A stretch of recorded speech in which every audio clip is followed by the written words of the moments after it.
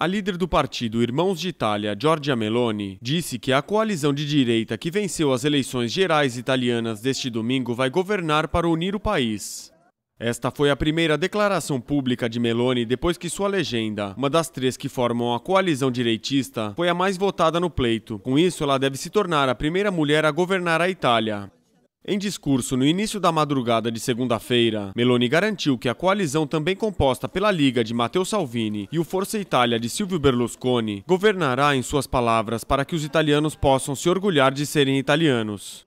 De acordo com os resultados, o Irmãos de Itália foi o partido mais votado, com cerca de 26%, e a coalizão obteve 44,1%, contra 26,1% do bloco progressista liderado pelo Partido Democrata.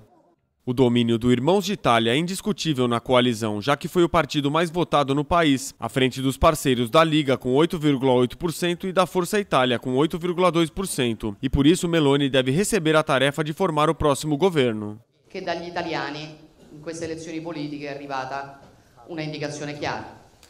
E l'indicazione chiara è per un governo di centrodestra a guida Fratelli d'Italia. Os italianos deram uma indicação clara a partir das urnas. E a indicação é para um governo de centro-direita sob a orientação dos irmãos de Itália, disse Meloni. Meloni lamentou que a campanha eleitoral tenha sido agressiva e violenta e a taxa de abstenção no pleito de 36%, e declarou como objetivo reconstruir a relação entre o Estado e os cidadãos.